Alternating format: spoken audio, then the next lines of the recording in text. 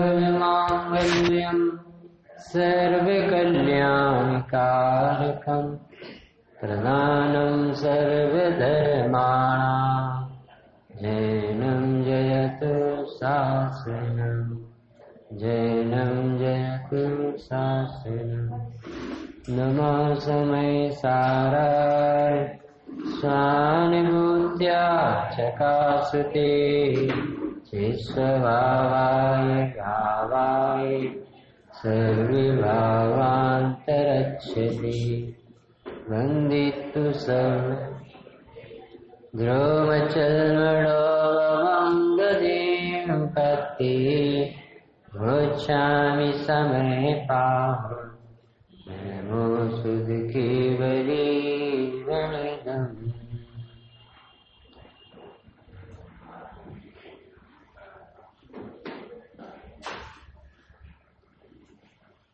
गुरुदेव श्री के प्रवचन, बानवे गाथा, प्रसार सिद्धि पाए तीन सौ उनतीस पेज पर है।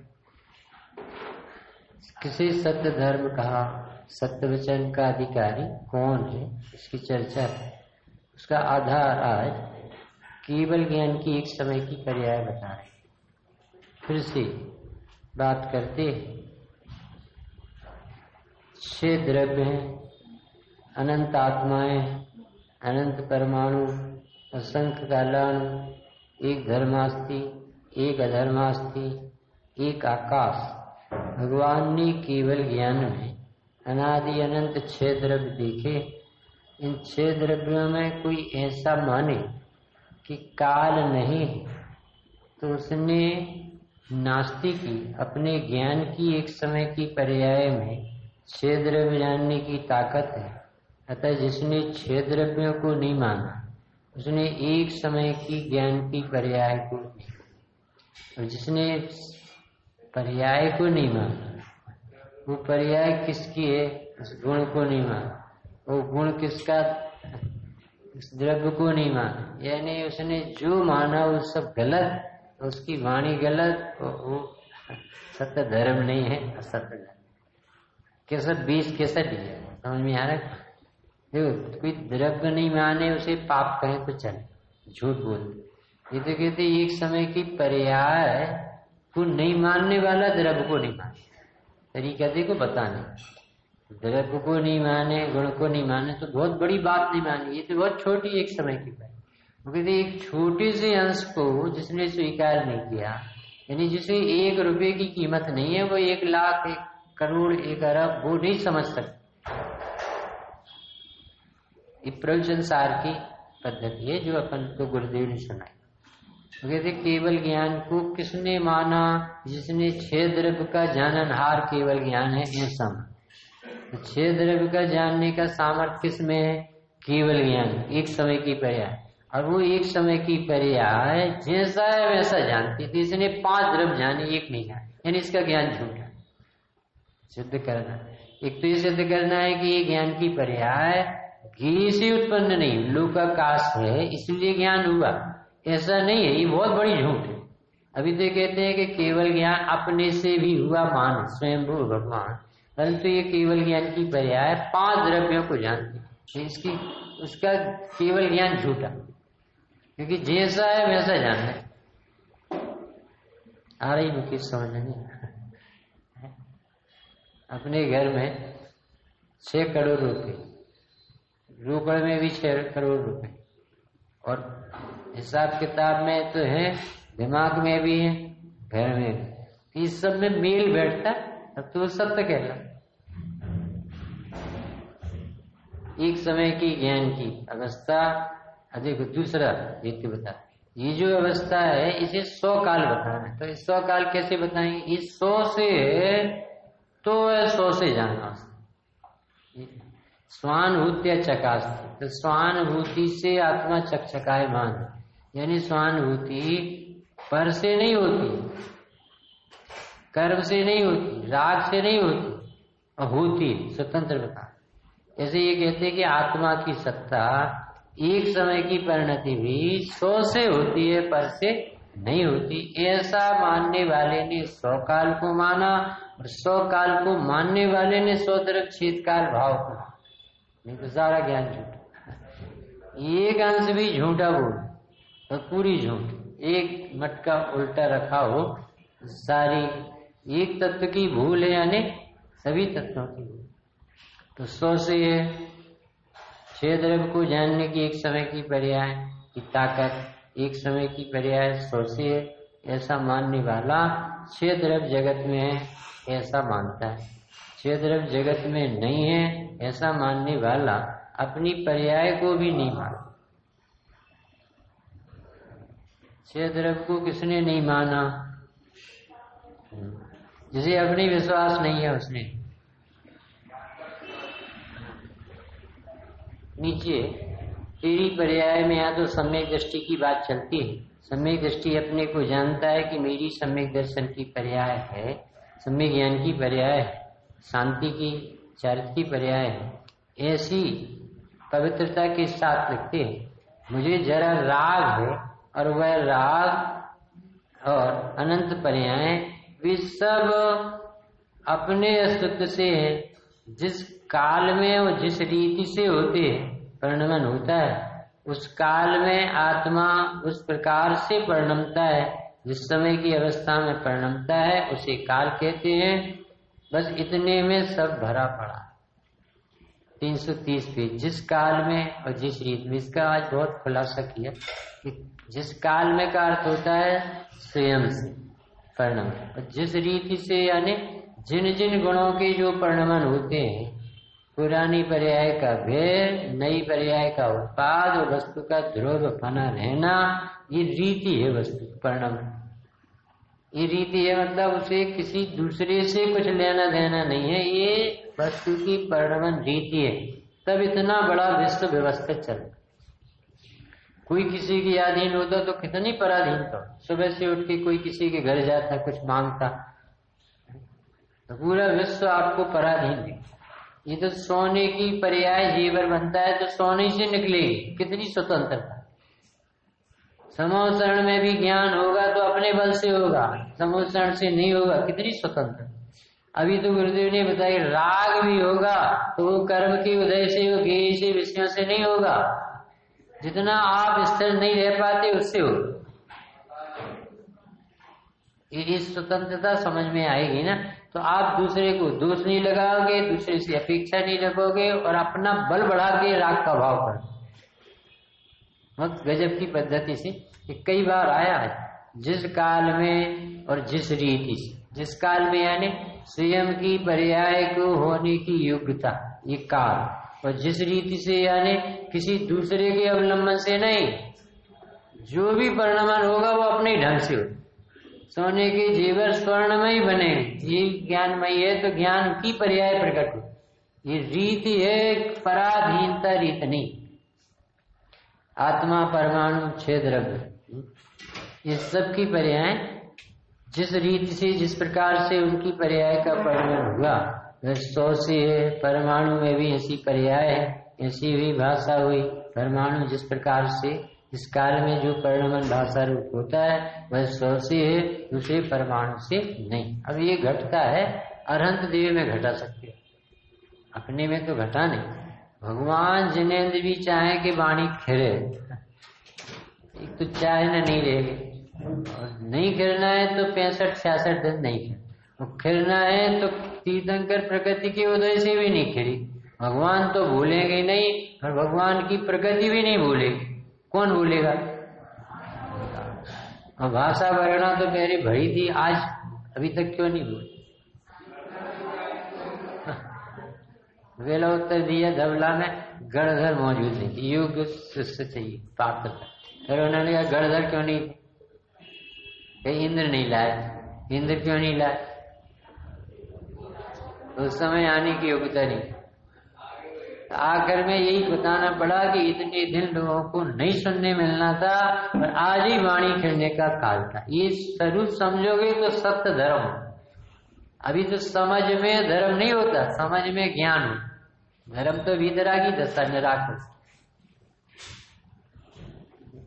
अनंत द्रव्य ऐसी मान्यता किसे होती होगी, सोचो। मैं अखंडानंद ज्ञायक, चिदानंद मूर्ति मुझमें तो अनंत ज्ञान आनंद भरा है। मैं अल्पक, एक समय की पर्याय में हूँ।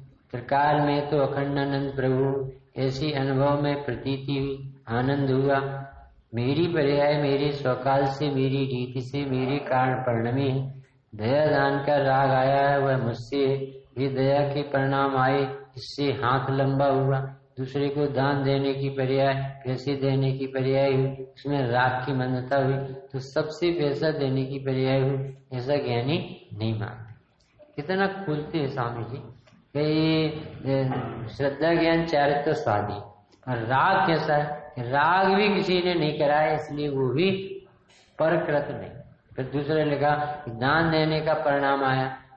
वो कमज़ोरी से स्थिरता न होने से फिर जो दान दिया, वो हाथ भी तुम्हारे नहीं है, दान तुम कैसे? धन भी तुम्हारा नहीं।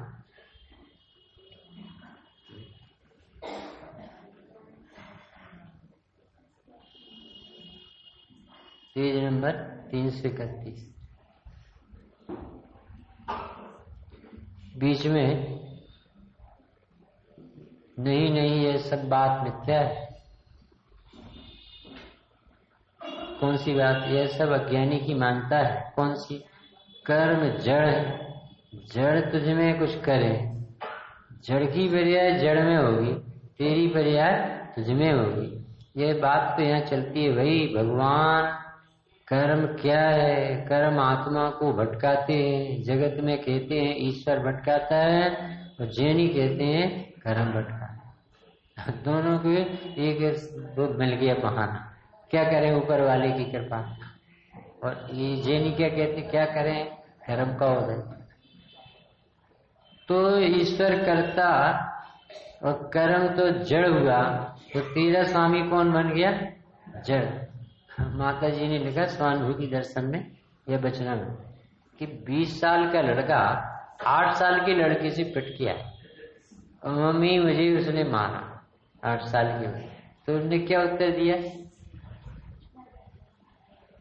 किसा ढेंगा है ऐसा है कैसा ढेंगा है तो इतनी छोटी लड़की से पिट किया ऐसे कैसा चेतन है जो तुझे दूसरा तरफ़ दुखी करता? जड़ ने चेतन को भटका दिया, हमारे जैन में तो कर्म बड़े हैं भाई। कर्म बड़े हैं, कर्म बड़े हैं, ऐसा जीव के चित्त में बैठ गया है तो उसे अपना महात्मा नहीं है। थोड़ा सा तीन सौ बत्तीस। में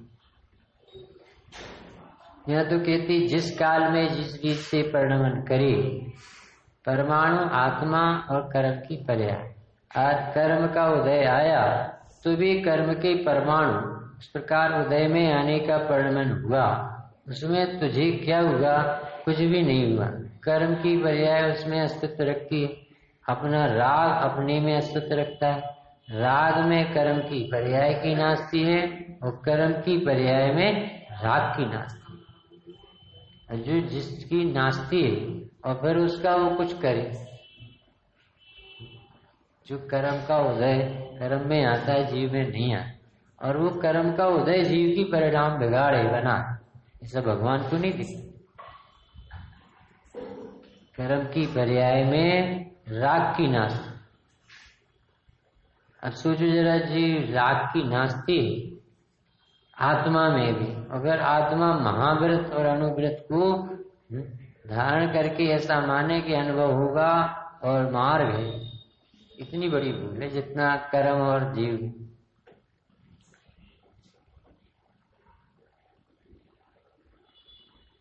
ये इसके नीचे वाले पाँच छह लाइन की बात। जिसे परमेश्वर गणधर देव नमस्कार करें, वह चारित्र पद कैसा होता होगा भगवान? कैसा होता है? वह तो आत्मा की अनुभव से जो एक विकल्प का भी करता नहीं है। स्वरूप में आनंद की लहरें उछलती हूँ। क्षण में छठवा, क्षण में सातवा, क्षण में छठवा, सातवां गुरुस्थान, क्षण में आनंद में उतर जाए। क्षण में छठा गुणस्थान आ जाए, विकल्प उठता है, विकल्प, एक विकल्प दया का क्षण में अंतर में उतर जाए। ऐसी सच्ची मुनिजा वीतरागता के धनी, सच्ची मुनि हज़ारों बार छठवीं सातवें गुणस्थान में झूलते हैं। नींद भी जिन्हें एक पौन सेकंड की नींद जिसे कहते हैं, वो आती है। छठी गुणस्थान की प्रमत दशा बहुत थोड़ी होती है। पौन सेकंड के भाग में बहुत हजारवें भाग में नींद नहीं है, एक घंटे की नींद है तो मिथ्या दृष्टि समझ में आया? ये समझ में नहीं आता, हमने इसलिए पढ़ा। कितनी बड़ी नींद है? कि कौन सेकंड? कौन सेकंड कोई नींद कहला? लिखा है, स्वामी जी के छठवा गुणस्थान कितना है ये ये हमें समझ में नहीं आता। जब लिखते हो तो कौन सेकंड में तो वो अक्षर ही नहीं बन पाते? छेद करते होंगे तो वो बनेगा कैसे वो जो सातवें गुणस्थान की भीतरागी दशा है ना, तीन कसाई के अभाव। वो आनंद की लहरें चलती है और धुन में ऐसे कि हम सो कहाँ रहे? निहाल भाई व्यक्ति कहते थे कि हमसे पूछो तुम कब सोते हो, कब जगते हो? तो बोले, हमें पता ही नहीं चलता, नींद कब आ जाती है और हम कब उठ जाते जिस धुन में सोए थे हमें उठते हैं तो वही धुन मिलती है। हम कैसे कहें कि हम सोते ऐसा उत्तर तो चौथे वाले ने दिया। ये तो मुनिराज की लिखा है। समझ में आए नींद का अर्थ ऐसा नहीं होता कि वो पड़े नहीं रहते होंगे। कौन घंटे, चार घंटे। ऐसा तो लेटे रहते परंतु उनके चित्त में वो प्रमाद की जगह नहीं, सोने की जगह नहीं। वो मस्ती और आनंद नहीं छूट सोए कब? न्याल भाई ने लिखा हम कब सोए, कब जगे, हमें यही पता नहीं चलता। क्यों? क्योंकि जब सोए थे, तब वही चल रहा है। और जब जगे, तब वही धुन चल रही नमः समय साराय स्वानुभूत्या चकाशति चिस्वभावाय भावाय सर्वे भावांतरक्षिणी तात्पर्य वृत्ति इसमें 170 पेज है, पचहत्तर गाथा के बाद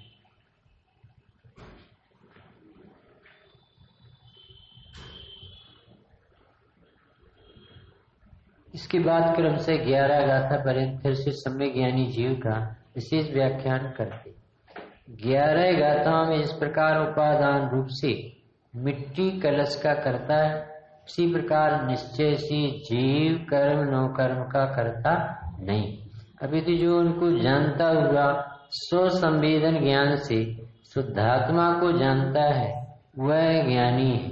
इस कथन रूप, कमस्य परिणाम इत्यादि जो प्रथम गाथा है, इसकी और पुण्य पापादि परिणामों को जीव व्यवहार से करता है, निश्चय से नहीं करता है। इस प्रकार की मुख्यता से एक सूत्र है, इसके आगे कर्म पने को या स्व परिणाम भाव कर्म को, सुख दुखादि कर्म फल को आत्मा जानता हुआ, उदयागत परद्रव्य को नहीं करता। इस प्रकार प्रतिपादन द्वारा नवी परिणामदि इत्यादि तीन गाथाएँ तदनंतर पुद्गल भी वर्णादि स्वपरिणाम का ही करता है, ज्ञानादि जीव परिणाम का करता नहीं है। इस कथन से इत्यादि, इसके बाद जीव पुद्गल के परस्पर निमित्त कर्तत्व होने पर भी परस्पर उपादान कर्तत्व तो नहीं। तत्पश्चात निश्चय से जीव के अपने परिणामों के साथ कर्ता कर्म भाव भुगता भोग, भाव होता है। फिर व्यवहार से जीव पुद्गल कर्मों का कर्ता एवं भोगता होता है। इस तरह से पूरा इतिहास बताते पहले क्या किया है, अभी क्या होना है आगे क्या गाथा है। नीचे कम्मस्य परिणामम नो कम्मस्य तही परिणामम करे मादा जो जानती सो अवधिना जिस प्रकार मिट्टी कलश का उपादान रूप से करती है, उसी प्रकार कर्म तथा नो कर्म के परिणाम को उद्गल द्वारा उपादान कारण रूप से किया जाता है होने से आत्मा नहीं करता है। इस प्रकार जो जानता है, सो हवधिनामी वह निश्चय से शुद्धात्मा को परम समाधि के बल से भाता हुआ। अनुभव करता हुआ ज्ञानी होता है। इस प्रकार ज्ञानी हुए जीव के लक्षण कथन रूप से गाथा को यानी जो भी चित्रण आता है जयसन स्वामी का, वो बहुत फॉलो करता है अमृतचंद। देव जैसा वो कहते वैसे ही ये उसका पोषण करते हुए अपनी भाषा करते परंतु इसमें थोड़ा सा अंतर आता है। निरूपण। क्या अंतर आता है? कि ये कुछ ऐसे शब्द डालते हैं जिससे पुरुषार्थ दिखता है। और जीव को भ्रम ना हो जाए, इसलिए इतना खुलासा करना। जैसे मूल गाथा है, कर्म के परिणाम को, नो कर्म के परिणाम को, जो नहीं करता है, मात्र जानता है, वो ज्ञानी। तो ऐसा जगत में लगता है कि हम तो जानते हम ज्ञानी। ये कहते हैं कि सुनो तो जानने का अर्थ क्या हो?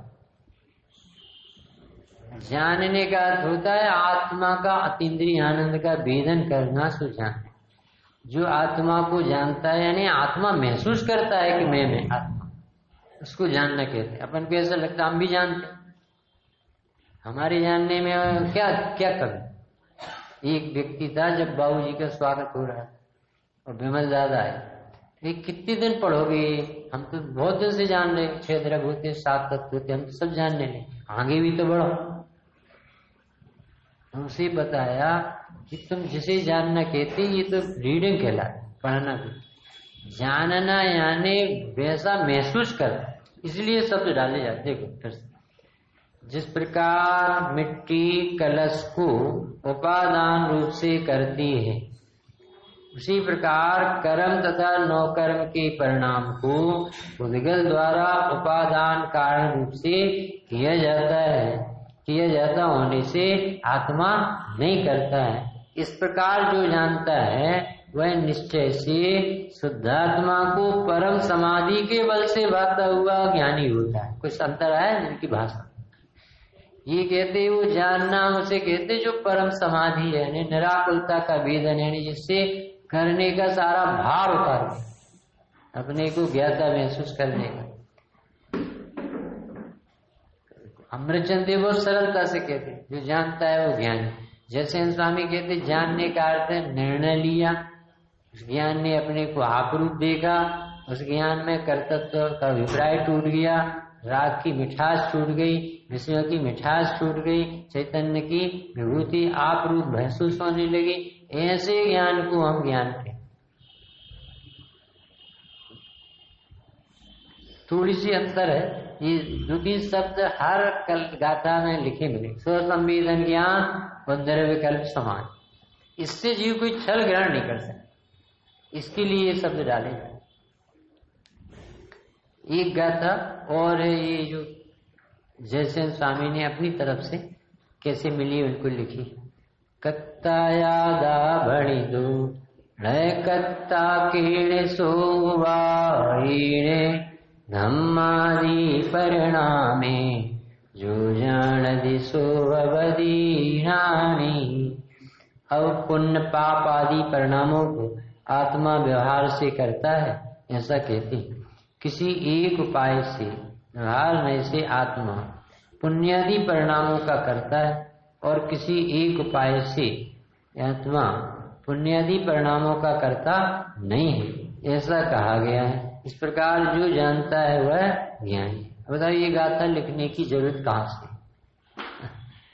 कौन ने लिखी है जैसे स्वामी को मिली और उन्होंने लिखी। और अमृत चंद देव को नहीं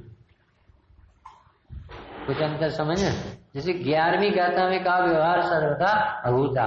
और एकदम से बारहवीं में गाता है, कहा, व्यवहार जानने में आता हुआ प्रयोजन। ऐसा कहा। ऐसे ये अभी क्या कहा? कर्म के परिणाम, नौ कर्म के परिणाम, भाव कर्म के परिणाम को ज्ञानी क्या करता है? जानता है। करता धरता नहीं। अब ये परिणाम में घर से खड़ी कर नहीं नहीं, पुण्य के परिणाम होते हैं। राग होता है। ये क्यों करना पड़ा? क्योंकि हमें तुझे विश्वास कैसे समझ में आए कि चौदह गुण स्थान की बात है और तुझे थोड़ी गंभीरता लाना पड़े। जो मुनिराजों की और अनंत देव की बात तो सबको समझ में आ जाए कि उन्हें राग नहीं है, वे आत्मा का निरंतर भूख करते तो चौदह गुण स्थान वर्ती के ढेर राग दिखता है और वे कह रहे बिल्कुल राग का करता है। बिल्कुल भी राग का करता नहीं है और ढेर राग है। पत्नी, पत्र, परिवार, घर, गृहस्थी, शरीर, लड़ाई, भड़ाई, लेना, देना, खाना, पीना, भोगना, कोई देखे ना बाहर से तो ऐसा आपको डेढ़ व्यक्ति को कोई सम्यक दृष्टि ना मान। छह महीने रो रहा है वो कह रहे रोना धोना कुछ होते ही नहीं ज्ञान का के वही कह रहे होगा रोना। और रोने का कष्ट भी हुआ। फिर से किसी एक उपाय से एक उपाय से यानी एक एंगल से तो विचार एक नए। तो वो कह रहा है कि बताओ सम्यक दृष्टि को राग होता है कि नहीं कि होता है? परंतु स्वामी दृष्टि रागी है कि नहीं कि सम्यक दृष्टि ज्ञानी है? राग होता है तो, तो जानो राग का स्वामी नहीं होता है।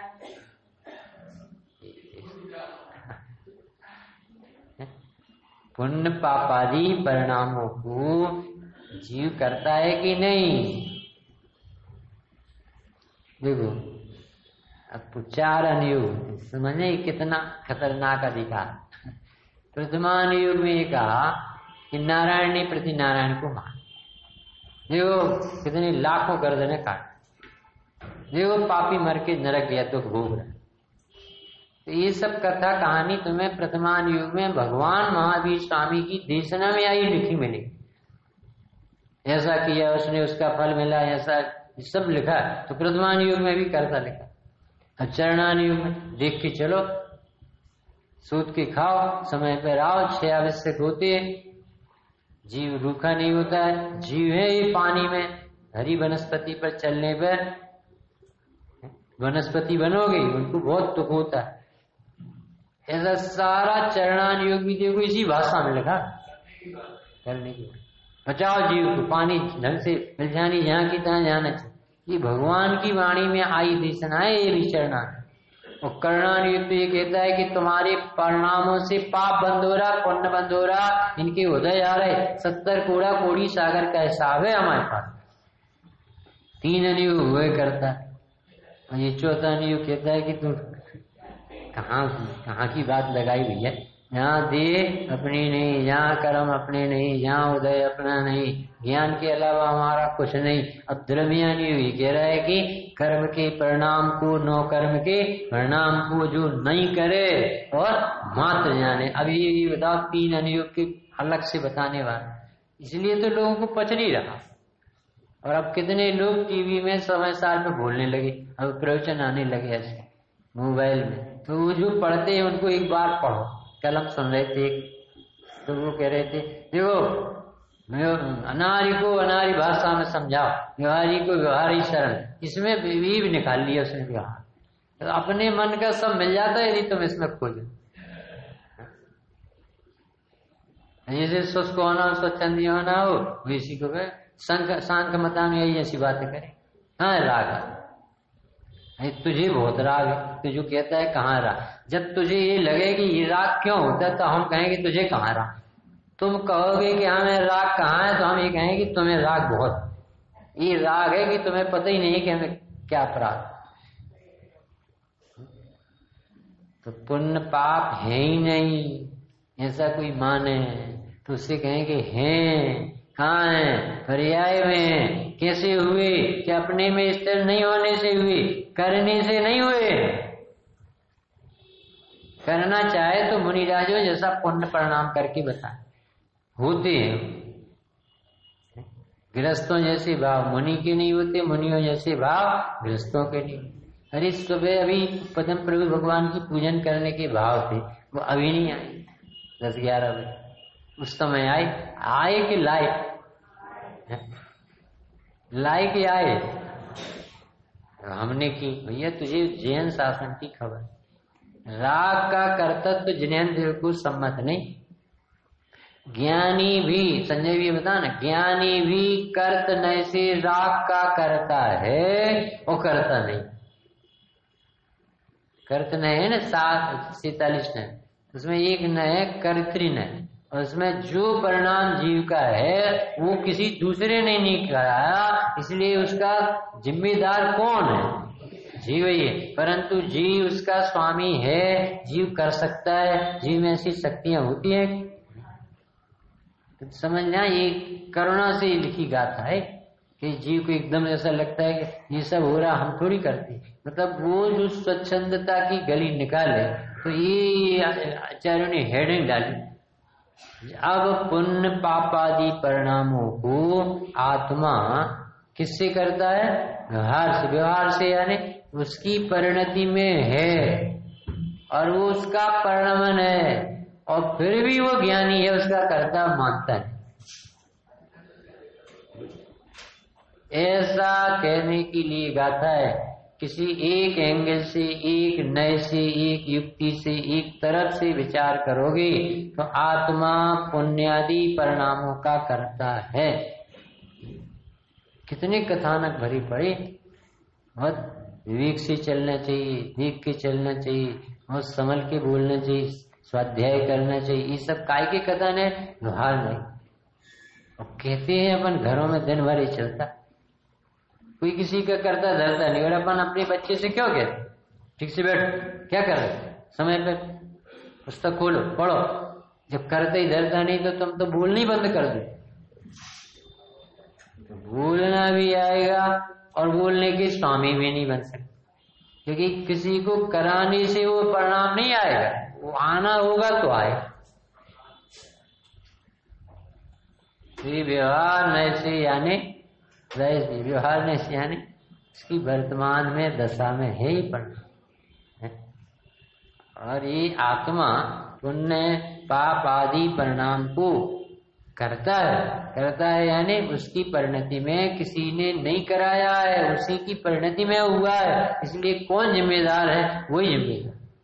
बाबू जी ने उदाहरण दिया था, शिखर जी कि नई बहू आई और उसने सास के कहने पर कि बेटा, आदमियों को देख के कचरा फेंक तो उसने कचरा लिया और जब तक कोई आदमी नहीं निकला, तब तक तो खड़ी रही और एक जेंटलमैन के ऊपर फेंक अब वो व्यक्ति लड़ने आए है? तो बताओ, वो बहू घर से बाहर निकल कर लड़ने जाएगी थी नहीं जाएगी? तो जो सज्जन सतीश भैया थे, वो निकल के बाहर आए कि भाई साहब, गलती हो गई। तो इनने तो छुआ भी नहीं उसे। मुझे ये गलती क्यों मान? ऐसा बताया बाबू जी, कि बताओ इनने मर्यादा पुरुषोत्तम राम ने तो कोई गड़बड़ी की नहीं। ऐसा आत्मा है भगवान, जिससे कुछ अपराध नहीं होता, कुछ करना नहीं। तो वो कहता है कि साहब मेरी गलती, ऐसा है कथन व्यवहार। गड़बड़ी ये कहा? प्रमाण से देखो तो जीव की गड़बड़ी, और नए से देखो तो जीव गड़बड़ी कर सकता ही नहीं। उसका करता है। ये एक करता कर्म संजीव ये समझ में आ रहा है कि कर्म यानी काल, ठीक? और कर्ता यानी उस रूप परिणमित होता तो सच पूछो तो पर्याय का परिणमन पर्याय का अब वो पर्याय द्रव्य की है तो द्रव्य उसका करता और दूसरा द्रव्य उसका करता नहीं। यहाँ तक समझ में आए कि जो परिणाम होते हैं, वो बिना द्रव्य के नहीं होते तो उसका कर्ता कौन हुआ? द्रव्य यानी पर द्रव्य नहीं। अच्छा अब आया उस जीव के भीतर प्रमाण। अब जीव के परिणाम में जानना, देखना भी होता है और राग देश मोहिनी तो जीव के परिणाम जानने, देखने का करता तो जीव को बताए। जो जान सो हवा देना। पर जो राग होता है, उसका करता जीव को नहीं बताया पछन वो राग जीव ने किया क्या पर द्रव्य ने, कर्म के उदय ने, संयोग ने, विषयों ने, यानी 2000 का नोट डला था, इसने ईमानदार व्यक्ति को नहीं लोभा। और एक लोभी लोग। गया तो इस 2000 नोट के कारण से उस लोभाया के नहीं, पूछे।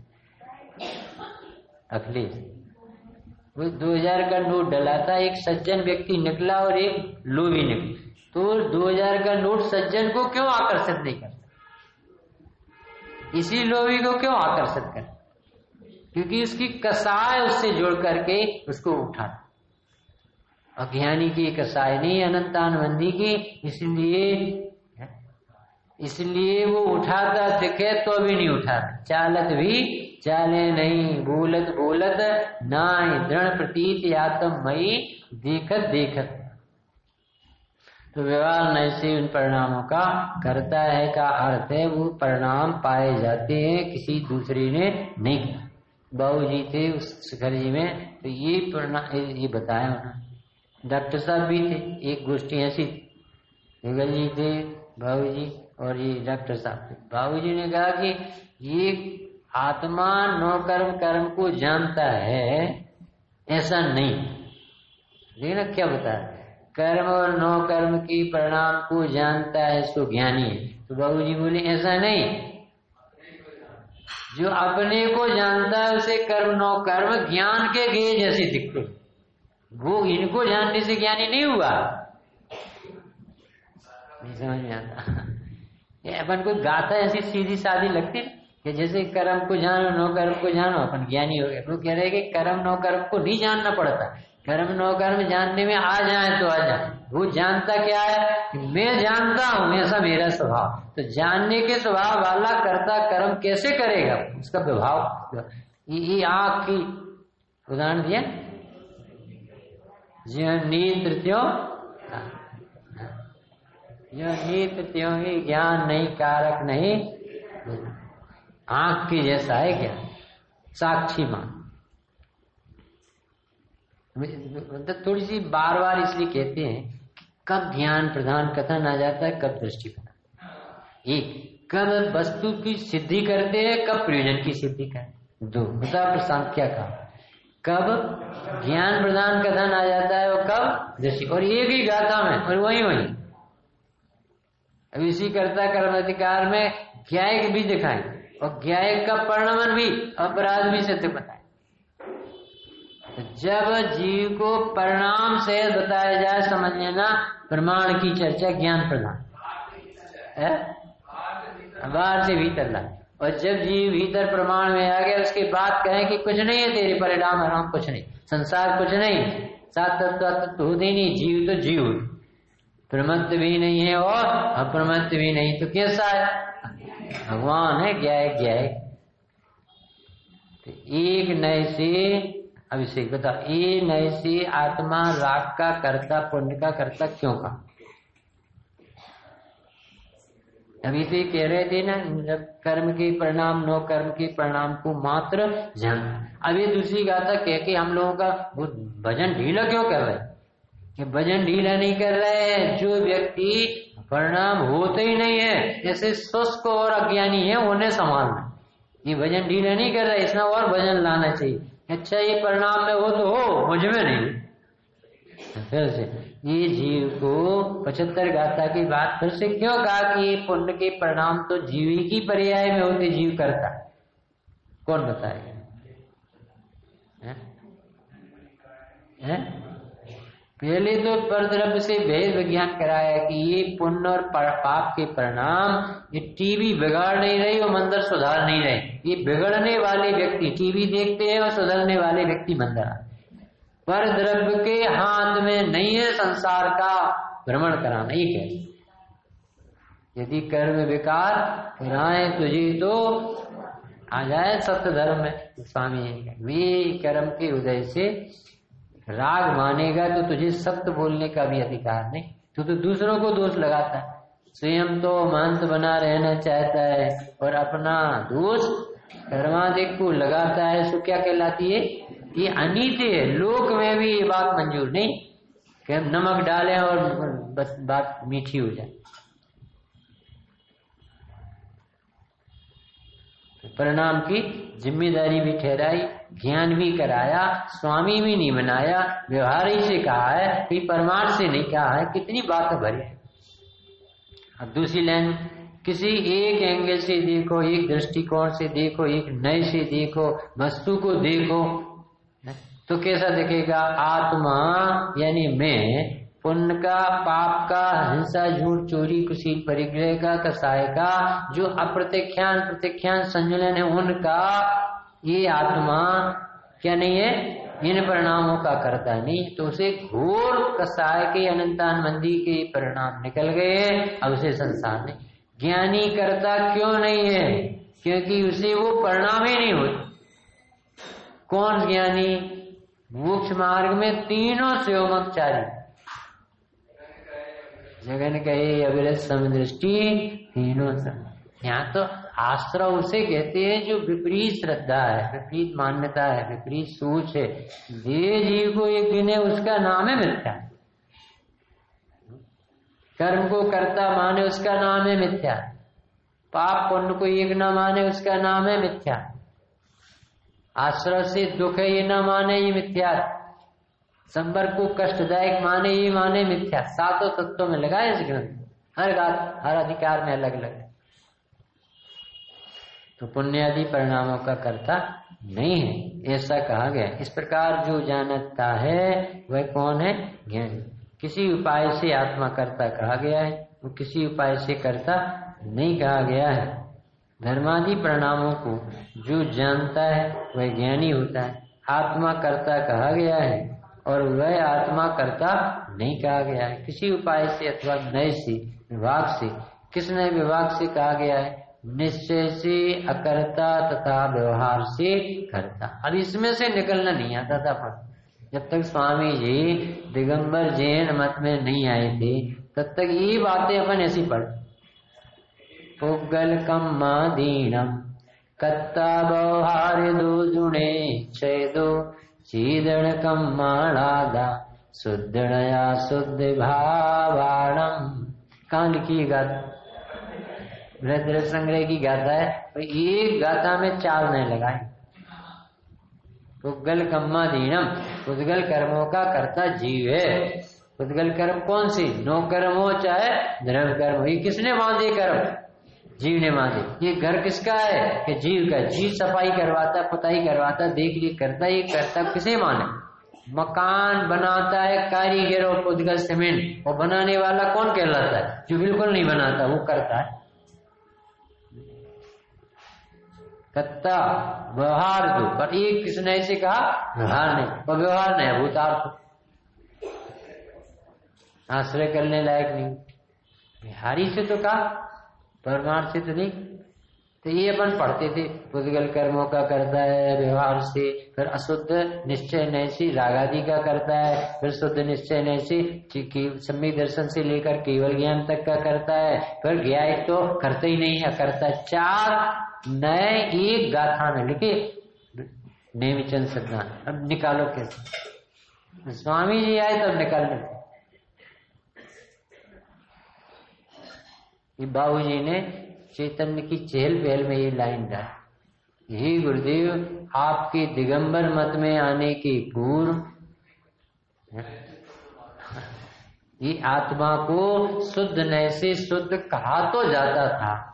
क्योंकि आगम भाषा के दासत्व के कारण, ऐसा लगा बाबू आगम भाषा के दासत्व के कारण शुद्ध नया शुद्ध भावाणम, शुद्ध नय से शुद्ध कहा तो जाता था, परंतु मान्यता तो अशुद्धता ही की रखता था कि मुझसे अशुद्धता है और शुद्ध होना है ये महापाप नहीं होता था। नहीं समझ अशुभ ये बताना, अशुद्ध है कि नहीं? है? हाँ अपेक्षा बताओ, आप क्या अपेक्षा? अरे, अशुद्धता है उसकी परिणति झूठ बात थोड़ी, नहीं, झूठ नहीं बोलता। अशुद्धता है। एक नहीं, अशुद्ध है कि नहीं? शुद्ध है, कोई शुद्ध करता थोड़ी, वस्तु तो स्वयं से तो शुद्ध है। दो हो गए, अब इसे शुद्ध होना है कि नहीं? ये तो प्राप्त सबके शास्त्रों में मर्म बड़े बड़े जिस प्रकार से वितरागता हो, वैसा प्रयास करना ये तो भरा पड़ा। तो हम बता हम अशुद्ध हैं और हमें शुद्ध होना है। ये हमने माना था तो क्या गलती संजय भी ये बताओ, हम अशुद्ध हैं और हमें शुद्ध होना है, जबकि दोनों न इस गाथा में, एक ने अशुद्ध ने भी बताया और एक ने शुद्ध ने से शुद्ध भी बताया। गलती क्या हुई? हमारी जो हम कह रहे थे, हम हम संसारी हैं भैया, पापी ग्रस्त हैं, अभी तो हम मुनि तो है नहीं। मुनि है, हम तो हमें केवल ज्ञानी तो नहीं। ऐसा पाठ पढ़ रहे थे, स्वामी जी कहा, तुझे पढ़ने नहीं एकदम जैन मत में आने पर उन्होंने रहस्य खोली कि तू शुद्ध होना है और अशुद्ध है, ये तूने अभी नयों का मर्म नहीं समझा। लिखा है वो गलत नहीं। क्योंकि नए ने बताया था तेरी वर्तमान दशा परिणति मात्र शुद्ध और द्रव स्वभाव तेरा त्रैकालिक शुद्ध। एक बैंक के मैनेजर और एक बैंक का चपरासी, इन दोनों की टोन में बातों में भजन होगा कि नहीं अंतर इनमें? एक चपरासी कहे कि आज छुट्टी है, और एक मालिक कहे कि आज छुट्टी बताओ दोनों की बोलने में अंतर एक नए ने कहा कि शुद्ध है, और एक नए ने कहा अशुद्ध है, और दोनों समय ज्ञानी के नए होते अज्ञानी के नए होते ही नहीं, और समय ज्ञानी कहता हमें, महाराज, हमें बहुत राग है। हमें भक्ति करने का व्यसन हो गया है। समंत बद्ध देव कह रहे परीक्षा प्रधान और तो उनसे पूछो कि बताओ तुम रागी देसी हो कि नहीं? तो अब यहाँ आ गए। कि दोनों नहीं लिखी मिलेगी, अब बात रह गई भजन देने की। शुद्ध नय त्रिकालिक राजा है, और ये अशुद्ध नय ये क्षण की लहर है। और तुमने लहर को इतना हावी कर लिया था कि वो शुद्ध नय राजा दबा रहता इतना बड़ा पाप से छुड़ाए गुरुदेव ने यहाँ। नहीं, अभी भी नहीं समझ में शुद्ध नय से शुद्ध कहा जाता था, अशुद्ध नय से अशुद्ध कहा जाता था, माना अशुद्ध ही जाता था, शुद्ध नय का विषय को रखने की कहीं जगह नहीं रह गई। और अब क्या हुआ गुरुदेव ने? क्या क्या कमाल किया? अरे तू शुद्ध ही है, तूने शुद्ध नहीं माना, ये परिणति की अशुद्धता। तू अकर्ता ही है, अकर्ता पर ठहरता नहीं है, इसलिए करने के परिणाम आते, इसलिए कहा कि ये गलती थी। कितना अंतर आ गया यदि गुरुदेव को नहीं सुनेंगे और समय सार पर नए नए लोग प्रवचन करने लगेंगे तो वो और नया नया मिथ्यात पड़ेगा क्योंकि ये भजन कहाँ से निकालते आप बता पुगल कम्मा दीनम लिखा, व्यवहार ने करना नहीं, प्रथमा नहीं। हमें कहते कर सकते ही नहीं। वो कर्ता बनते हो तो मिथ्या दृष्टि हो। गया किस नए विभाग से कहा गया है? भजन देखना। बाबू जी कहते थे, बात तो वचन की नहीं है, भजन की। वचन तो वही निकलते, मिथ्या दृष्टि भी पड़ेगा साथ, यही तो कहेगा।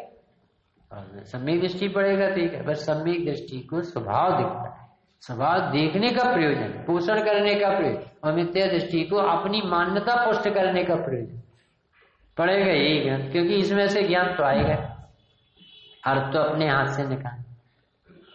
निश्चय से यह करता, व्यवहार से करता कहा गया, किन का कर्ता कहा है? पुण्य, पापादि, कर्म जनित उपाधि, रूप, परिणामों का आत्मा करता कहा गया। बताओ कर्ता कहा? गलत तो नहीं कहा। गलत तो नहीं कहा, पर व्यवहार नहीं से इतना कहते ही वज़न घट जाता। सकल गी ज्ञायक ना और तदपि लगाते ही वो ढीला पड़े। नहीं समझ में सकल गी गायक तदपि निजानंद रसनी। तो इतने बड़े विश्व के ज्ञाता कह रहे थे, हमें ऐसा लगा, बहुत बड़ा चमत्कार। तो कह रहे, नहीं नहीं, मगन जहाँ सकल गी में नहीं मगन। उनको इतने बड़े विश्व में एक आत्मा अच्छा लगता। इतनी बड़ी भीड़ हज़ारों की, उसमें दूल्हा ही दूल्हा दिख कौन को? दुल्हन। न बैंड दिखते है ना। बस समाप्त कर रहे पुण्य पापादि कर्म जनित, उपाधि रूप परिणामों का करता कोई दूसरा नहीं है इस इतना समझ। जो जान जिसो हमारी डाली अब देखना इसमें क्या छल हो सकता था और इनने क्या दूर कर दिया। ख्याति से, पूजा से, लाभ से, समस्त रागादि विकल्प की उपाधि से जो जीव रहत होकर समाधि में यानी ध्यान में, अनुभव में, वेदन में जो ठहरता है, उसे हम ज्ञानी कहते भैया, तुम किसे कह रहे कि समय साथ पढ़ करके और हम बोलने लगे हम जानना। अपन तो जानने वाले, करता धरता तो है नहीं। भैया, ये समाधिष्ट व्यक्ति की बात है। अब समाधि सुनो तो घर घबरा जाता तकलीफ़ डॉक्टर भारल बीमार हुए और उन्होंने कहा कि समाधि में पाठ पढ़ो। तो लोग आगे पड़ोस के कहीं जाने वाले हैं क्या? मतलब समाधि पाठ पढ़ा और मरण होगा ऐसा समझ। अरे समाधि पाठ तो आत्मबल के लिए, भेद विज्ञान के लिए। ऐसे इनने क्या कहा कि तुम जानते हो ना कर्म को? यहाँ ये घर हमारा। तो घर में स्क्रैच करते हैं। तो तुम दुखी क्यों? क्योंकि तुम घर कहते हो, हमारा नहीं है और मानते हो। इसलिए ख्याति भी नहीं चाहिए, पूजा भी नहीं, लाभ प्रतिष्ठा जगत में, ये सब जिसके रस टूट गया है। और जो जीव निराकुलता का आनंद भोगता है, वो ज्ञानी कहता वह ज्ञानी होता है, यानी ज्ञान स्वभाव को जाने सु ज्ञानी, कर्मों को जाने सु ज्ञानी नहीं। कर्मों को जाने पर क्यों लिखा है कि आप कर्म उसे किए वर बनते इसके लिए कहा है कि कर्म को जानो। ये बहुत छल गण हो सकता था यदि ये गाथाएँ सपोर्ट में ना न सब आदमी बोलते, भैया, अरे अपन दुकान चल, कैसी मुकेश हालत, क्या दुकान चल? अरे चलती भाई, अपन तो ज्ञाता है। कैसी तबीयत? अरे शरीर का दर्द, भूलता तो ऐसा है कुंद कुंद के भीतर बैठ और बीनर गाय का कर? ये छल ग्रहण ना हो जाए, चुपके छल अपना घेतब इसलिए ख्याति लाभ पूजा में कोई दम तो है नहीं। कौन मोहियों से तुम्हें सर्टिफिकेट चाहिए, कौन तुम्हें सुखी कर देगा, ये तो रस तोड़ के आना चाहिए। और कैसा लगना चाहिए? सचमुच में मैं तो ज्ञाता मात्र मात्र जानना मेरा काम शुद्धात्म है मेरा।